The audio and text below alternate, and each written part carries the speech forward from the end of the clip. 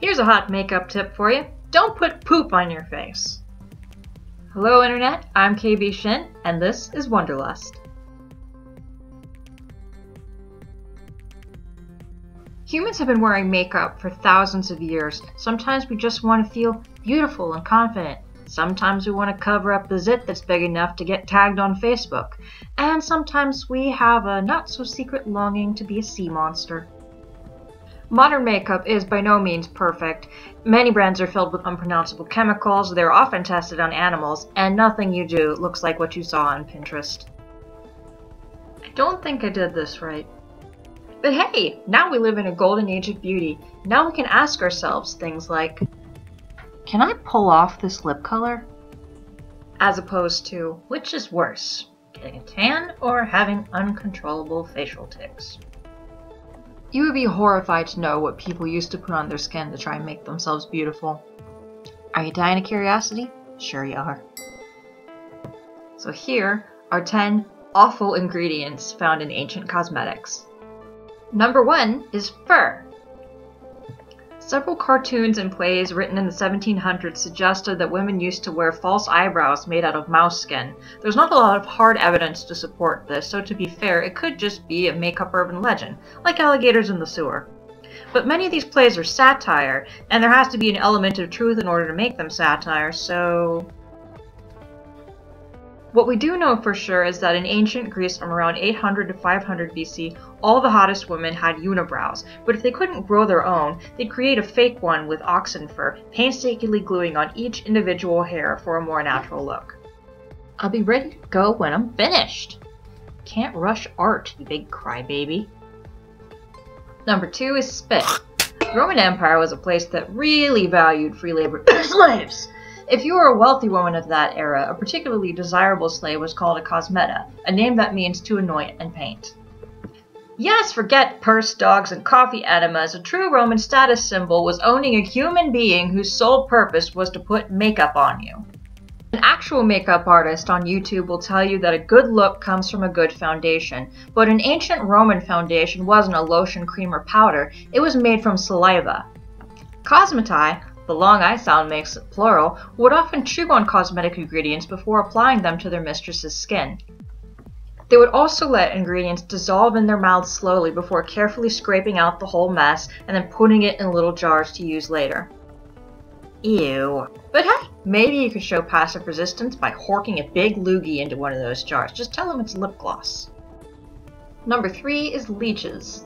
Looking pale and tragic has been a fashion statement for centuries. But if you can't fake it with makeup, pick up some leeches. Noble women of the European Renaissance often put leeches on their ears as a means of draining the excess blood from their faces. They literally drained the color from their cheeks that comes naturally only to slap some back on in the form of carmine or cinnabar. Seems like a bunch of unnecessary steps now, don't it? So if that wasn't icky enough for you, the ancient Romans used to make a potent black hair dye out of mashed leeches and vinegar. It had to ferment about two months before it was ready to use, and yeah, it smelled awful. Remember, this was ancient times. Anybody who wanted to look hot was usually willing to put stuff on their bodies that made them smell like a funeral pyre that was built out of kimchi and dirty diapers. And the list really only gets worse from here, so can't say I didn't warn you. Number 4 is blood. Kind of a short leap from leeches to blood, now isn't it? Right around 100 AD, women all over the Roman Empire would use a mixture of blood and sheep fat to paint their fingernails. In ancient Egypt, most people who could afford to do so shaved their heads and wore a wig. Back then, it was just easier to do that than have to contend with head lice over and over and over again. But if you were going to keep your real hair, you could keep it shiny by using a deep conditioner made from the boiled blood of a black bull. Geez, try saying that five times fast. How do you even determine the wattage of bull's blood? Some people also drink ox blood to try and improve their complexion. Following that logic, wouldn't that mean that ancient Egyptians were vampires? Well, it would explain the tombs and the fancy coffins. Number 5 is urine. I warned you it got worse. The chemical urea is a natural skin softener and humectant which helps skin retain its natural moisture. But up until Friedrich Wöhler, a German chemist, discovered how to create it synthetically, it was easier to just collect it straight from the source. Ancient anti-aging masks and skin lightening treatments were often made with urine, usually from a horse or a mule. However, during the Victorian era, they supposedly figured out that the most potent skin rejuvenation treatment came from human babies. I don't need to spell out for you how it got collected, do I? Ammonia, another chemical commonly found in urine, has a natural lightening effect. Ancient Romans used to clamor to try and get urine from the Portuguese because they believed it to be more potent than their own urine. Um, hi? Can I see the raw data for this? Plus, unless you had a Portuguese person on tap, it'd be way too easy to get ripped off people probably did get ripped off. A lot. And I bet when they found out, they were pissed. I'll be in my room. anyway, the ancient Romans used this fantastic power pea as an ingredient when it came to bleaching their hair or, um, whitening their teeth. I'll take a pass on that, thanks. Maybe I'll just give up drinking so much coffee. I'll never let you go, my love. Number 6 is Belladonna. From the Italian for beautiful woman, Belladonna is a member of the nightshade family. European women in the 15th and 16th centuries would use the juice from the berries as eye drops. Belladonna contains atropine, a chemical that dilates the pupils. Atropine is now more commonly found in medical grade eye drops and can make a trip to the optometrist just a little bit disorienting. But back then, there was no standard recipe for eye drops, and they weren't checking for glaucoma. They used these drops to make their eyes look wide set and sparkly. You can probably imagine how this might have gone. Is Frederico looking at me? I literally can't tell. Maybe I'll get his attention by looking really sexy while I eat this apple.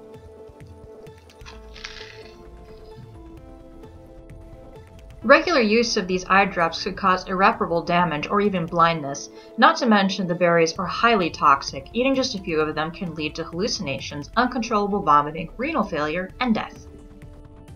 Number 7 is mercury. When you think of mercury, you usually think of the liquid metal that's inside every thermometer in T1000. But in this case, the culprit is a mercury-based ore commonly known as cinnabar.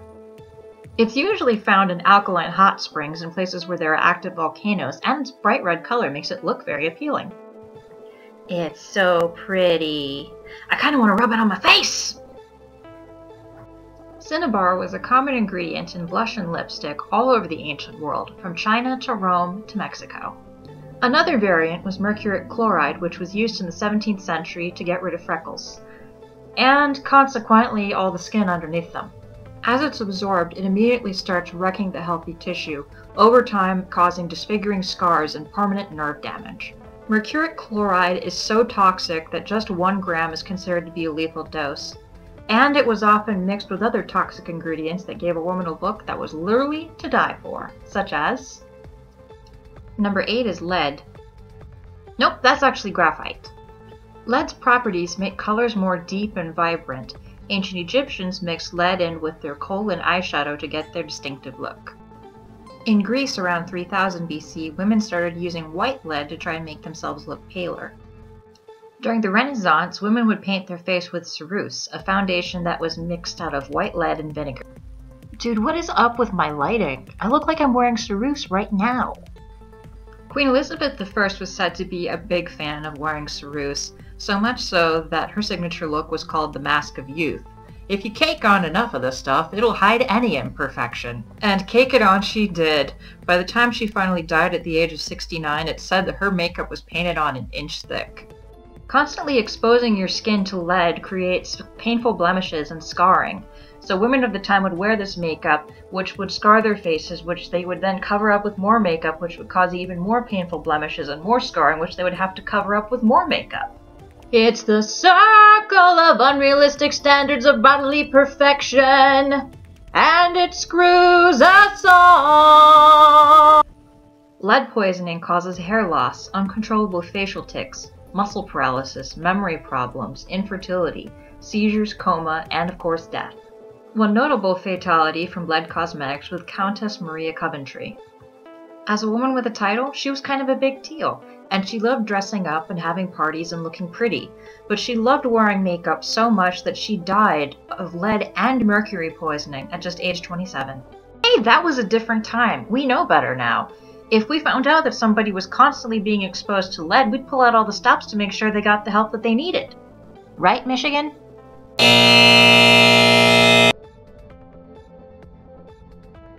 Number 9 is arsenic. By modern standards, arsenic is considered the weapon of choice for murderers who don't feel like breaking a sweat. But back in the day, it was ridiculously easy to get your hands on some. Seriously, you could walk to a corner drugstore and pick yourself up a box of arsenic. But besides causing, well, death, it did have some appealing beauty benefits. In the Ottoman Empire, In the Ottoman Empire, the ideal woman was as hairless as a baby bunny. So, to create that look, women used a depilatory cream called rusma. It was a mixture of lime juice and orpiment, which was an arsenic byproduct. It was applied all over the body before they took a bath and used a bronze tool to scrape off any of the remaining goo. If rusma got left on for too long, it could cause painful burns. Okay, heads for hot wax, tails for chemical burns.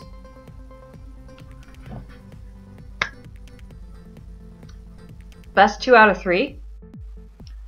Newspapers in the Victorian era would advertise a product called arsenic complexion wafers. Eating them was supposed to give you lovely pale skin, clearing up acne, freckles, or any other imperfections your skin might have.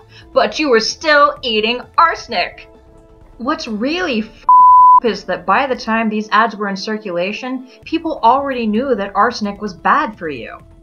It was already well documented to be a dangerous ingredient in things like dyes and wallpapers, and of course the aforementioned murder weapon. They just reasoned that a little bit wasn't going to kill you. This, of course, follows the same internal logic as Look, I know you have a nut allergy, but the article said that a mask made out of Nutella will give your skin a healthy glow. Come on, just a little bit. It's not going to hurt anything. Like any addictive substance, people can build up a tolerance to arsenic, and they have to take more of it in order to achieve the same results. Regularly abusing it can lead to hair loss, diabetes, deafness, kidney failure, a variety of cancers, and of course death. This has gotten really depressing. I feel kind of crappy. Speaking of which, number 10 is poop! You had to know this was coming. Underneath their trademark white makeup, which hopefully is not filled with lead, the geisha of Japan have perfectly flawless skin. What's their secret? Well, they've had something that's been part of their beauty regimen since the Edo era a poop facial. Called the Uguisu no Fun, this mask is made from the droppings of a particular species of nightingale, the Japanese bush warbler. Uguisu no Fun, more like Uguisu no thank you, that's all I'm saying. The way it's supposed to work isn't exactly clear, which kind of led me to conclude that this facial was invented on a dare, but apparently it does work. Uguisu no Fun is starting to pick up steam in the Western world. Celebrities like David and Victoria Beckham swear by it. As you can imagine, it's not exactly easy to harvest. In the US, you can expect to pay upwards of $180 for the privilege of having bird poop smeared on your face. This isn't what I had in mind when you said let's get sh**ed. The mimosas are good, though. Hey, you made it! And nobody got poisoned! Thanks for watching. If you liked it, please give it a thumbs up and subscribe for more content. I'll see you next time. oh my god. that was horrific. the things I do for comedy.